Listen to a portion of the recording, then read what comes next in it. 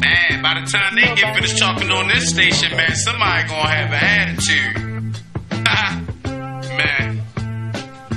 You on the edge with Nim and Sonji. This anger management, homie. You on the edge with Nim and Sonji. True facts, this reality, homeboy. You on the edge when questions get asked. You don't